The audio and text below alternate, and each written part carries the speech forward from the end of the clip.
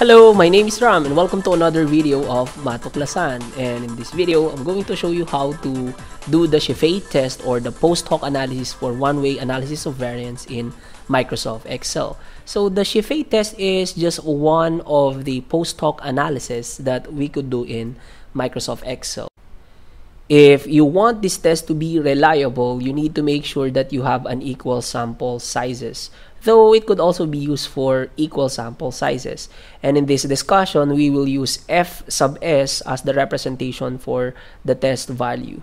And it is equal to the difference between the means of the two groups that you are comparing, quantity squared divided by the square variance or the variance of the within group times 1 over n sub 1 which is the sample size for the first group and n sub 2 here represents the sample size of the second group. And if you want to get the critical value for the Shifei test, we just need to multiply the degrees of freedom for between groups times the CV or the critical value of the F test. How about we use our previous example in uh, my video discussion about one-way analysis of variance in Excel. So here, a researcher wishes to see whether there is difference in the weight gains of athletes following one of these three special diets. So the first group took diet A, the second group took diet B, and the third group took diet C. Now, after six weeks, their um, weight gains in pounds were recorded and here's our data. Now, since we are comparing three means of uh, individual groups, therefore, we need to use the one-way analysis of variance. So, by going to the data ribbon, data analysis, we will choose ANOVA single factor. And of course, our input range is this one. Then labels for the first row our alpha level is 0.05 and the output range will be placed here. And we have now our analysis of variance table now, we can see from this table that the test value is greater than the critical value and the p-value is less than 0.05. So, therefore, we need to reject the null hypothesis. Rejecting the null hypothesis tells us that there is a statistically significant difference between the mean weight gains of athletes following one of these three special diets. So, since the null hypothesis was rejected, we need to do post hoc analysis. And here we can see that the sample size for each of these group are not equal. So, therefore, we can use the Scheffe test. To perform the Scheffe test in Microsoft Excel, we need to prepare this uh, table containing the pairwise comparison.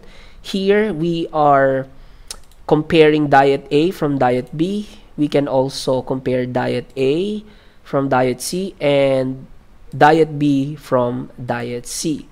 And for the computation of this formula or for this test value of the Scheffe, I divided our computation into three columns. For the numerator, which is the difference or the square of the difference between the two men, uh, means of each diet, and for this column, I have the FS denominator, which is the mean square variance within groups times this. Okay, so here we have the final value, which is F sub S. Now, let's start with this row, comparing diet A and diet B. For the numerator, all you need to do is to type equal sign, then open parentheses, get the difference of the means of A and B. And we can see here that the mean for diet A and diet B is 5. So we need to subtract that 5 with this mean, 10.17 for diet B. And then close parenthesis, square this value because in the formula we need to square the difference of these two means. So press equal sign, then we have 26.69. Let's do this with the remaining cells. We have here diet A and diet C. So we need to subtract the mean of diet A, which is 5, minus the average or the mean of diet C. Quantity squared. and we have this for the last one we have diet B and diet C so we have 10.17 minus 4.5 squared now for this cell we have the fs denominator so we'll need to we need to follow this formula MSW represents the mean squares of uh, the within groups or the variance for the within groups. So here we have equal sign. Then uh, the within groups MS is 6.53 times 1 over n sub 1. So meaning 1 divided by the sample size for diet A. So the sample size count for diet A is here which is 4, plus 1 over the sample size for diet B, which in this case is 6. So close this one, and we'll have 2.72.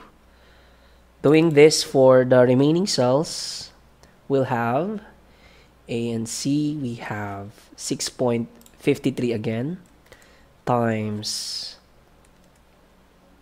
this A and C. So 1 over A and then the count for C is also 4. Then the last one is 6.53 times the count for diet B is 6 1 over 6 plus 1 over 4 so notice that I just type the specific values here instead of choosing the cell. So either way, we'll have the same result. And since we now have the numerator and the denominator, all we need to do is to divide these values. Divide the numerator, which is this one, and the denominator, which is this part. So choosing this, we'll have 9.81 for the Scheffe test value of diet A and diet B. Now, all we need to do is to drag this formula for us to have the other FS value. For the critical value, all we need to do is to multiply the degrees of freedom between groups, which in this case is 2. So we have equal sign 2, or I can just select this cell, times the CV or the critical value of the F test. In the ANOVA summary table, the F critical is 3.98. So just need to multiply these two for us to get the critical value of the Scheffe test.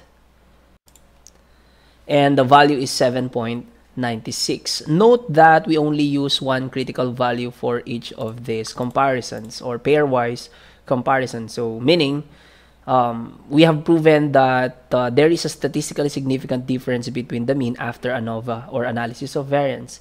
And by doing the Scheffe test, diet A and diet B has a Scheffe value of 9.81 which is greater than 7.96. So meaning there is a significant difference between diet A and diet B.